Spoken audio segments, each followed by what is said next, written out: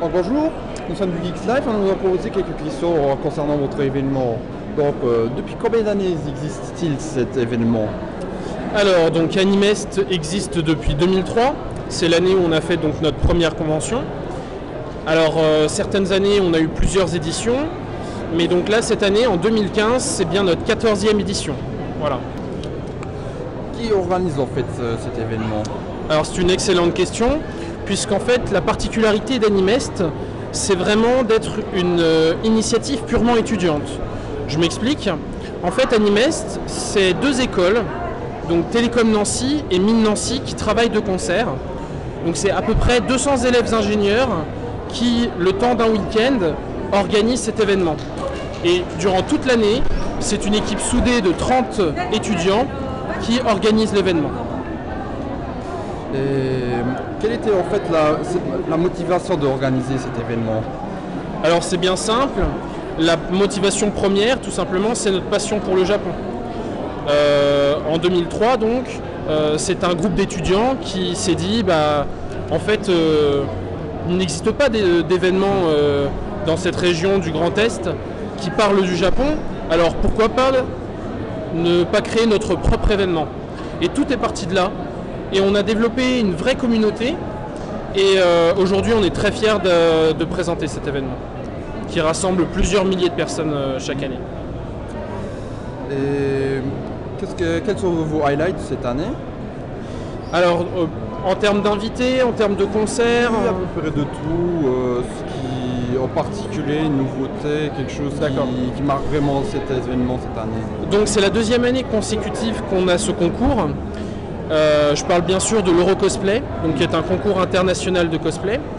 Et cette année, pour la deuxième édition où euh, Animest est sélectionné pour faire les qualifications, la particularité c'est que Animest est la seule convention en fait où il est possible de se qualifier pour les phases finales de l'Euro Cosplay qui auront, lieu qui auront donc lieu en 2016 à Londres.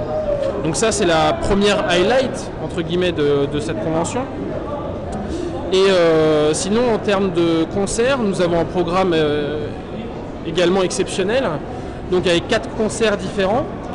Euh, nous avons donc eu le groupe de, de rock japonais, donc c'est un girls band qui s'appelle Ganglion, qui vient directement du Japon et qui a mis le feu tout à l'heure donc dans l'amphithéâtre.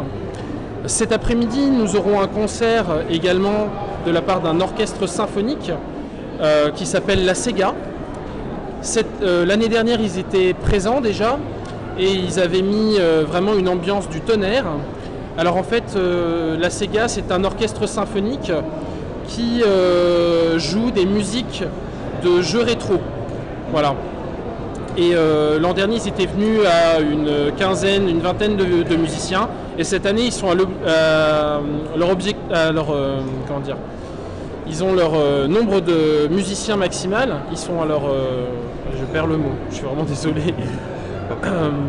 Ils sont à leur effectif maximal, voilà, avec 42 musiciens qui seront présents. Euh, nous avons également un concert de Benjamin Nuss, qui est un pianiste allemand et qui est en fait le joueur de, qui joue les musiques en fait de Final Fantasy. Et euh, enfin, nous avons donc euh, le concert de euh, Nicolite Orchestra, qui est un concert semi-acoustique également qui reprend des musiques euh, d'animés, de films ou de séries connues. Donc voilà. Après, en termes d'invités, nous avons également donc Mamie Twink, qui est un YouTuber connu pour son comment dire pour les jeux Blizzard. En fait, il est spécialisé sur les jeux Blizzard. Donc il fait des revues, il stream, il euh, poste des vidéos, il joue à certains jeux.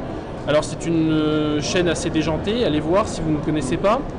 Euh, nous avons également donc cette année le collectif Spatule Force avec euh, donc c'est un collectif de youtubeurs qui regroupe un ensemble de youtubeurs parmi lesquels les plus connus sont le chef Otaku donc qui a sa célèbre émission Menu Manga dans lequel il propose des chroniques de manga et d'animé Euh, et également Ginger Force donc, euh, qui est une, euh, une youtubeuse qui propose deux émissions une qui a trait au manga et une qui a trait aux grands thèmes du féminisme qui lui sont chers.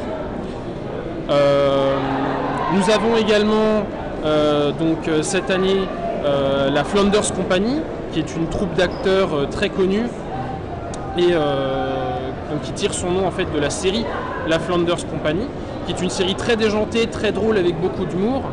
Donc là encore, si vous ne connaissez pas, je vous invite euh, à aller voir.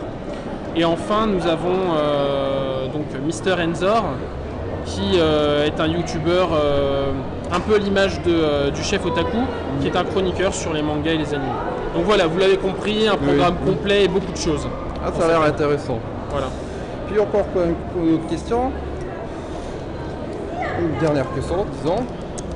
Avec les événements actuels maintenant qu'il y a eu à Paris, est-ce qu'il y a eu des problèmes au niveau de l'organisation qui, qui a pu, euh, disons, perturber perturbé. Alors euh, effectivement, euh, ce sont des événements tragiques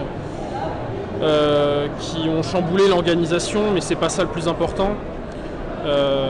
On était sur le pied de guerre euh, hier pour tenir au courant les visiteurs pour savoir si la convention allait être maintenue ou pas puisque euh, maintenir euh, l'événement était pour nous quelque chose qui nous, qui nous est cher vraiment, et je vais expliquer pourquoi.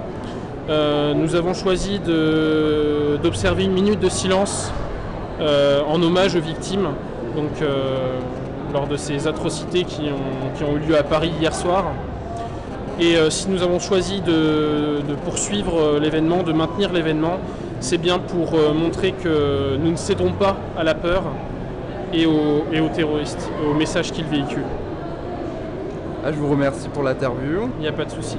Et j'aimerais juste dire un dernier mot quand même, puisque Animest, ce ne serait pas Animest sans tous ses partenaires, ses boutiques, ses stands amateurs, et également bah, tous, les in- tous les invités, les intervenants culture qui nous font des animations exceptionnelles, et évidemment les visiteurs qui sont très sympathiques, avec une communauté vraiment exceptionnelle. Vous allez faire de très belles rencontres si vous venez à.